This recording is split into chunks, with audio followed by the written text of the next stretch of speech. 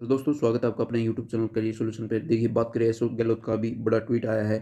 इन्होंने अपने ट्वीट में क्या कहा है कि राज्य सरकार की परीक्षा में गड़बड़ी कोताही कर्तव्य में लापरवाही करने वाले हर व्यक्ति पर कड़ी कार्रवाई करी जाएगी। परीक्षा में शामिल अभ्यर्थियों के साथ में न्याय नहीं होने दिया जाएगा। और आगे इन्होंने जो पूरी बात की है, सिंपली ये बात इन्होंने विपक्ष को अब मुँह जो बंद करने के लिए ये बात की है। और इन्होंने सिंपल बताया है कि एसओजी की गंभीरता से ली गई है, जो जाँच हो रही है, वो एसओजी गंभीरता से जाँच कर रही है, उनके प्री एंड कर दिए गए हैं। और जो भी इसमें गिरफ़्तार किए जा रहे हैं, उनसे पूछताछ जो है, वो सख्ती से की जा रही है। चेयरमैन को बर्खास्त किया गया है और सचिव को भी निलंबित किया गया है। और जो भी अधिकारी इसमें मिलेगा, उसको जो है बर्खास्त किया जाएगा, उसको नौकरी से निकाल दिया जाएगा। और भविष्य में ऐसी कोई भर्ती में निर्विघ्न तरीके से सिंपल उसके ऐसे सुझाव देने हेतु रिटायर्ड हाईकोर्ट जज की अध्यक्षता में उच्च स्तरीय समिति जो है वो बनाई जा रही है। और इससे क्या है, लाखों अभ्यर्थियों के भविष्य के साथ में वोरा खिलवाड़ जो है उस पर रोक लगेगी।